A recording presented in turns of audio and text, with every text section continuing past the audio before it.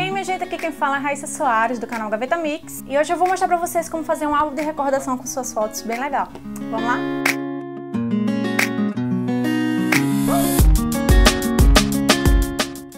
E aí que eu postei um dia desses uma foto de um álbum de recordação que eu estava fazendo para dar de presente. E como estava ficando bem legal, eu resolvi filmar alguns momentos do meu celular mesmo. E também postei, acabei postando uma foto no Instagram. E como teve muitos comentários, muita gente pedindo para fazer vídeo, eu resolvi fazer um vídeo mostrando para vocês como é que eu resolvi fazer esse álbum de recordação. Eu vou mostrar para vocês um pouco do passo a passo, só para dar uma explicação bem rápida, o que eu usei para montar esse álbum foi esse caderno, bem grande. Ele tem uma capa de couro. Mais pra frente eu vou explicar mais detalhes sobre ele. Eu e meu esposo ganhamos de presente de casamento de um dos nossos padrinhos e a gente tinha decidido fazer algo que a gente tinha muita vontade, que era um álbum de recordações, pra, não apenas para mostrar para amigos que viessem visitar a nossa casa, mas porque às vezes a gente registra tantos nossos momentos e deixa isso no digital, só que a gente é, não tem o hábito de ter isso materializado fisicamente. Eu acho muito legal você ter isso como um hábito então, como vocês gostaram, vamos lá que eu vou mostrar um pouquinho mais pra vocês como é que eu fiz. A primeira coisa que a gente vai precisar é de um caderno sem pauta. Esse daqui, ele é grande, assim, no tamanho de uma folha 4, mais ou menos, um pouquinho maior. Então, se você não tem um caderno como esse, eu vou mostrar algumas opções. Vocês podem adquirir um desses cadernos Moleskine. É... Deixa eu mostrar aqui. Vocês também podem produzir um. Eu já ensinei aqui no canal como fazer, então vai estar aqui linkado. Na verdade, eu já ensinei dois modelos de cadernos que vocês podem fazer em casa 100% manual. Um dos modelos era inspirado nesse modelo aqui, da Moleskine. Na verdade, esse não é Moleskine, esse aqui é Cícero. É, mas meio que ficou consagrado modelo como modelo Moleskine, mas não é, viu gente? Além do caderno, você precisa de fotinhas já já vou explicar qual foi o esquema aqui dessas fotos. É, a gente vai precisar de canetinhas para escrever e coisinhas para decorar. Você pode usar esses carimbos, pode usar post-its, fitas decorativas adesivos, recortes, ilustrações e o que mais sua criatividade e seu gosto permitir. E enquanto eu for montando, eu vou mostrando para vocês o que eu usei. E vocês vão ver que vai ter uma pequena variação da imagem, porque eu já gravei a primeira parte da montagem do, do álbum. Na verdade, ele já tá aqui com algumas coisas feitas, porque é, eu montei para dar de presente para o meu marido, mas eu não concluí tudo. Eu deixei o resto para terminar com vocês. Para você criar o álbum, você pode tentar montar algo é, em ordem cronológica, que foi como eu fiz, ou montar um tema, é, escolher, por exemplo, uma viagem específica que você fez, é, alguns momentos específicos que você estava presente com essa pessoa, alguns, algumas datas especiais, algo assim. Mas é, eu decidi fazer por ordem cronológica, meio que fazendo um resumo mesmo da nossa história. Então vamos lá, vamos falar das fotos. Aqui eu tenho um espaço bem grande, né? A folha é maior do que a 4, então poderia usar aquele padrão normal da 10 por 15, mandar revelar, mas eu queria que fosse menor que eu pudesse colocar várias numa página só, como eu fiz aqui, por exemplo. Então, o que eu fiz? Tem aquelas câmeras instantâneas, tem a Instax. Essa daqui, por exemplo, é uma foto feita nessa câmera é, instantânea. Então, eu peguei as dimensões tanto da moldura externa e da moldura interna e fui para o Photoshop e editei foto por foto, coloquei no padrão. Então, numa foto daquela 10 por 15, cabiam duas fotos dessa pequenininha aqui.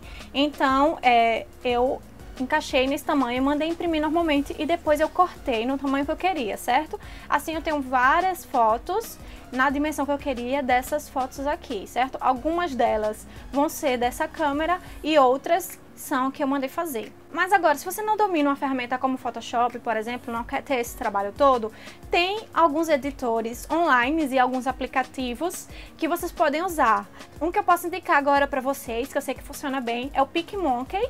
Vou deixar aqui é, o endereço aqui na tela e na descrição do vídeo. Isso não é um publi, viu, gente? É só uma indicação para vocês, porque eu sei que vocês iam me perguntar, mas depois, se vocês quiserem que eu mostre todo o passo a passo, tudo bem direitinho, eu posso trazer para vocês. Anteriormente, eu já tinha feito algumas mais assim de tamanho grande, que eu fiz pra usar na decoração mesmo, tem vários aqui. A gente usou também na decoração do casamento, no noivado, e é super legal, eu acho uma das melhores formas de você usar foto para decorar, é usando esse formato da Polaroid. Mas aí, como eu disse, eu escolhi esse tamanho menor, esse padrãozinho aqui, para montar esse álbum. Além das fotos, o que eu usei para decorar?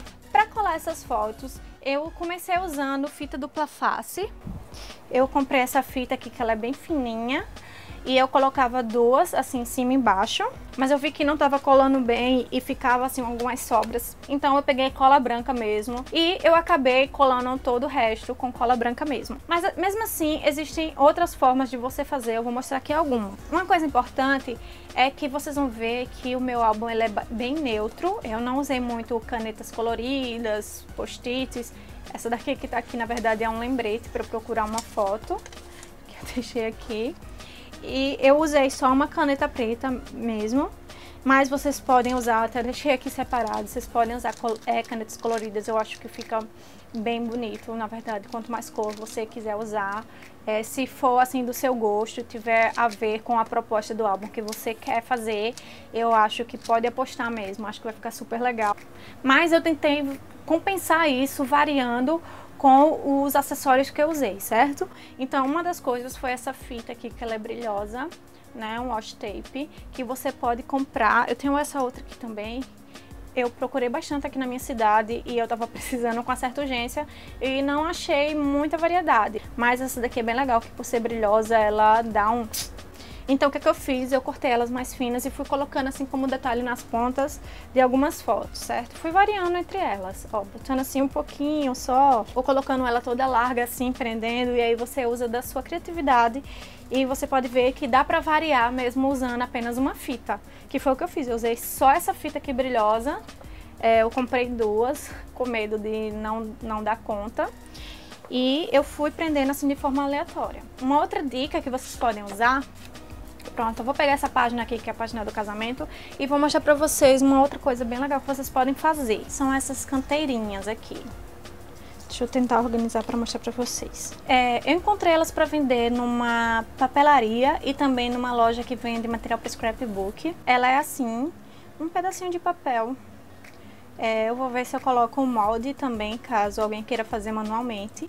Essas daqui eu mesma fiz na Silhouette certo? Que é uma máquina de corte. Eu vi em algum canto e eu mesma montei, eu não lembro, que faz bastante tempo já que eu tenho isso daqui. Uma das formas também, caso você não queira colar a foto no álbum, para não estragar, sei lá, não perder, é, você vai usar essas canteirinhas aqui. Você prende na foto e você coloca a cola aqui, certo? E aí você cola aonde você quer no álbum. Então, é uma forma bem legal porque além disso você está decorando, né? Deixando mais bonito. É sempre assim, um elemento que você puder adicionar você vai ver que vai dar uma vida a mais. Eu não sou, eu não domino muito as técnicas de scrapbook, mas eu percebi que quanto mais elementos diferentes, por exemplo, não só fotos, não só encher de foto, mas é, quanto mais você puder variar em coisas que você vai poder colocar como é, adesivos, outras coisas e ir adicionando, vai deixar a estética mais bonita. É, uma outra coisa é que eu tinha visto na internet, é, eu não lembro agora o lugar, mas é, se eu encontrar eu mostro para vocês umas molduras para essas fotos polaroides. Então eu peguei é, um papel adesivo e eu mesma montei no, no Photoshop algumas moldurinhas e aí eu cortei, e aí é só você colar, deixa eu mostrar aqui pra vocês. É adesiva, né?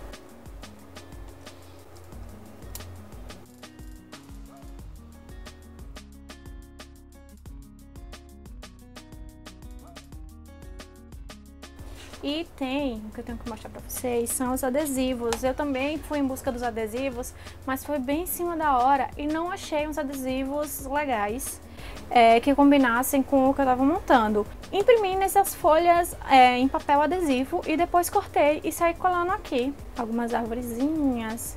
Então eu peguei assim alguns desenhos preto e branco assim que eu achei que tinha mais a ver com o que eu tava montando. Hum, deixa eu ver se tem mais alguma dica. Ah, fora isso, tem esses coraçõezinhos que eu peguei é, esses carimbos de corte, sabe? Que é uma ideia bem legal e bem fácil e econômica também para vocês decorarem. Assim, aqui esses carimbos de recorte.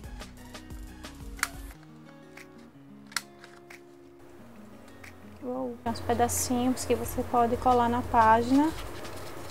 É, fora isso, acho que por último, é, que eu esteja lembrando das dicas que eu já dei pra vocês, foi essa rotuladora aqui. Deixa eu mostrar pra vocês de pertinho. Faz essas etiquetas aqui, que são bem retrô, né? Foi um elemento assim que eu acho que fez muita diferença. Então, o que é que eu fiz? Eu marquei algumas datas especiais, e aqui, por exemplo, 2013, eu fui marcando os anos na linha do tempo, né? Na Diana, que começa 2014, dia do casamento.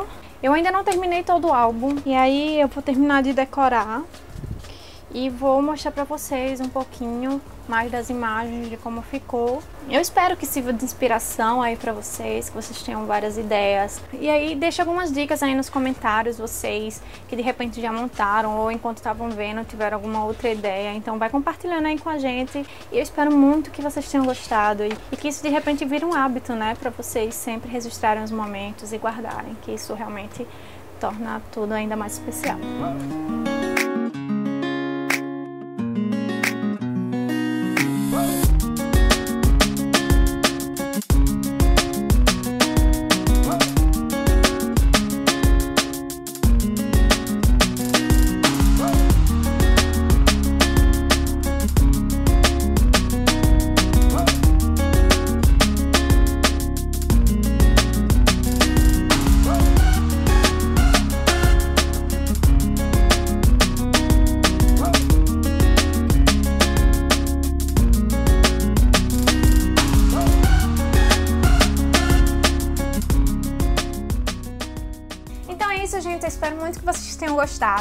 É, caso vocês tenham alguma ideia, alguma sugestão do que eu poderia fazer a mais nesse álbum, deixa aqui nos comentários. Se vocês gostam de mais ideias de papelaria, como essas, essa que eu fiz pra vocês, também deixa aí o seu joinha e compartilhe com seus amigos. E sim, se você não é inscrito, aproveita agora para se inscrever antes que você se esqueça.